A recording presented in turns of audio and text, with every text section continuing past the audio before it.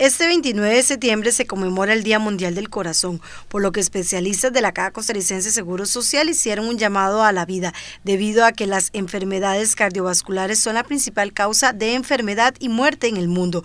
Además, son las responsables de 1.6 millones de muertes anuales solo en la región de las Américas. Y en este mes de septiembre queremos hacer un llamado por la salud cardiovascular, queremos hacer un llamado a la vida para que usted y sus familiares se cuiden la presión arterial, se cuiden el azúcar, disminuyan la cantidad de sal que consumen, hagan ejercicio 150 minutos a la semana y que disminuyan la cantidad de grasas que comen para evitar que tengan una muerte por enfermedad cardiovascular, para evitar que tengan una enfermedad cardiovascular como el infarto, como la insuficiencia cardíaca.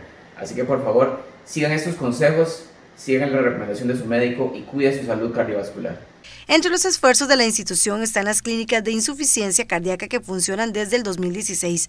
Actualmente, en el caso de la zona sur, existe en el Hospital de Ciudad Neily.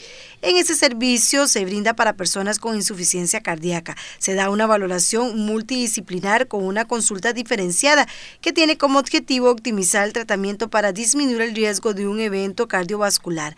Las clínicas están gestionadas por enfermería e intervienen otros profesionales en nutrición, psicología, endocrinología, geriatría y nefrología.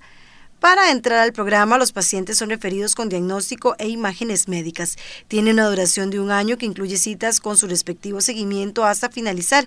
Luego son derivados a cardiología y al segundo o primer nivel de atención. Asimismo, se incluye educación al paciente y sus familiares para que el paciente tome control de su enfermedad y pueda fortalecer el autocuidado.